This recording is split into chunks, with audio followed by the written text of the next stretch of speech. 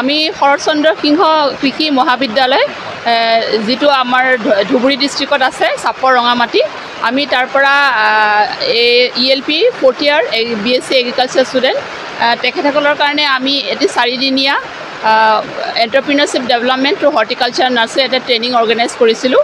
আৰু সেইটো স্পনচৰ কৰিছিলে NAHEP national agricultural higher education programme Assam agriculture university যোৰহাটৰ পৰা স্পনচৰ কৰিছিলে।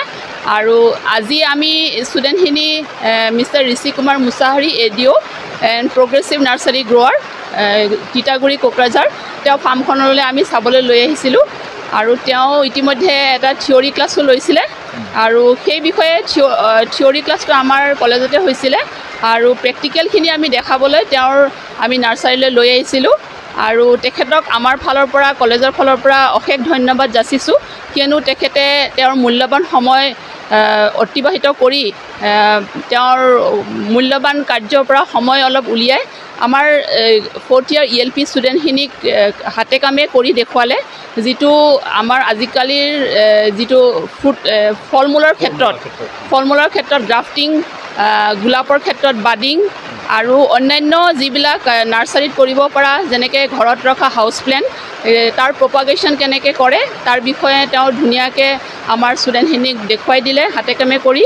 আৰু ষ্টুডেণ্টখিনিও বহুত ভাল পালে। আৰু আমাৰ কৃষি মহাবিদ্যালয় শৰৎচন্দ্ৰ সিংহ কৃষি বিদ্যালয়ৰ ফালৰ পৰা তেওঁক আমি অশেষ ধন্যবাদ যাচিছোঁ।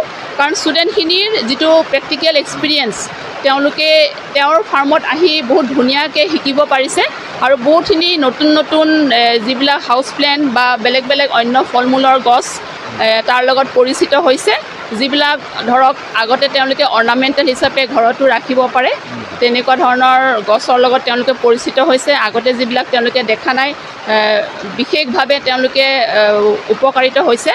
আৰু মই ভাবোঁ আমাৰ যিখিনি ষ্টুডেণ্ট ইয়াত আজি আনিছোঁ আমি তেওঁলোকে ভৱিষ্যতে এই ব্যৱসায়িক ভিত্তিত যদি তেওঁলোকে অণ্টাৰপ্ৰিনাৰশ্বিপ ডেভেলপমেণ্ট এটা স্বাৱলম্বীভাৱে তেওঁলোকে আৰম্ভ কৰিব খোজে তেতিয়াহ'লে মিষ্টাৰ ঋষি কুমাৰ মুছাহাৰীৰ পৰা তেওঁলোকে যথেষ্টখিনি সহায় পাব আৰু ভৱিষ্যতেও তেওঁৰ পৰা আমি আশা কৰিছোঁ যাতে তেওঁৰ ফালৰ পৰা আমাৰ ষ্টুডেণ্টখিনিক তেওঁ সহায় কৰি থাকে আৰু বিভিন্ন যিবিলাক ট্ৰেইনিং প্ৰগ্ৰেম হ'ব তাত তেওঁক আমি সহযোগ কৰি ৰাখিম।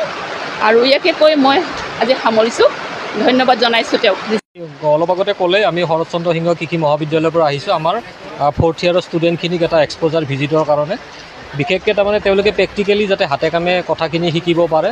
কাৰণ ইয়াৰ পিছত তেওঁলোকে এগ্ৰি গ্ৰেজুৱেট হোৱাৰ পিছত তেওঁলোকে হয় জবৰ ক্ষেত্ৰতে হওক বা নিজৰ এণ্টাৰপ্ৰেনিয়ৰশ্বিপৰ যদি তেওঁলোকে কিবা ব্যৱসায়ো আৰম্ভ কৰিব পাৰে যাতে এইখিনি প্ৰশিক্ষণৰ পৰা তেওঁলোকৰ যাতে উপকাৰ হয়। আমাৰ আজি একচুৱেলি আমাৰ ইয়াত চাৰিদিনীয়া এটা প্ৰশিক্ষণ চলি আছিলে আমাৰ কলেজত। তাৰে এটা পাৰ্ট হিচাপে আজি আমাৰ এইটো কাৰ্যসূচী আছিলে। তো মই আশা কৰিছোঁ যে আমাৰ ষ্টুডেণ্টখিনিয়ে নিশ্চয় এটা ভাল এক্সপ'জাৰ পাইছে আৰু তেওঁলোকে প্ৰেক্টিকেলি কথাবিলাক অলপ শিকিব পাৰিছে। গতিকে আমাৰ ষ্টুডেণ্টখিনি ইয়াৰ পৰা উপকৃত হ'ব বুলি মই আশা কৰোঁ এইখিনিয়ে আৰু। আমি ফ'ৰ্থ ইয়াৰ বেচৰ ই এল পি ষ্টুডেণ্ট মই আমি আছোঁ আছাম এগ্ৰিকালচাৰ কলেজ ইউনিভাৰ্চিটিৰ আণ্ডাৰত যিটো শৰৎচন্দ্ৰ সিংহ কৃষি মহাবিদ্যালয় আছে আমি তাৰ পৰা আহিছোঁ ৰঙামাটিত উপস্থিত। এইটো মানে আমাৰ চাৰিদিনীয়া এটা কাৰ্যসূচী চলি আছিলে এণ্টাৰপ্ৰিনাৰশ্বিপ ডেভেলপমেণ্টৰ ওপৰত। থ্ৰ' নাৰ্চাৰী নাৰ্চাৰীৰ যিটো আছে তাৰ আণ্ডাৰতে আমি এক্সপ'জাৰ ভিজিট হিচাপে আমাৰ ঋষি ছাৰৰ ফ্লৰিছ নাৰ্চ ছাৰৰ যিটো নাৰ্চাৰী আছে ইয়াত আমি আহিছোঁ। আহিছোঁ। হয় ইয়াতে শিকিবলৈ আমি মানুহ ছাৰে আমাক প্ৰেক্টিকেলি কিছুমান বস্তু দেখালে যেনেকুৱা আপোনাৰ যিটো প্ৰপাগেশ্যন প্ৰচেছ বুলি কয় প্ৰপাগেশ্যন থ্ৰ' আপোনাৰ গ্ৰাফটিং আছে কাটিং আছে বা বাৰ্ডিং আছে। এইবোৰৰ এইবোৰৰ বিষয়ে আমাক ছাৰে প্ৰেক্টিকেলি ডেমনষ্ট্ৰেশ্যন দেখালে। আৰু আমি ভাবিছোঁ এইখিনিৰ আমাৰ পিছত যদি আমি এপ্লাই কৰিম তেতিয়া আমাক বহুত উপকাৰ কৰিব। শিকিবলৈ কাৰণে আপোনাৰ প্ৰেক্টিকেলটো জৰুৰী। মানে ডেমনষ্ট্ৰেশ্যনটো আপুনি হাতে কামে কৰিবই লাগিব এইখিনি। মানে যিখিনি চাই কিনে যিখিনি আপুনি শিকিব নোৱাৰিব হয়তো এবাৰ দেখিলে কিন্তু আপুনি তাতকৈ অলপমান বেছি হয়তো জানিব পাৰিব।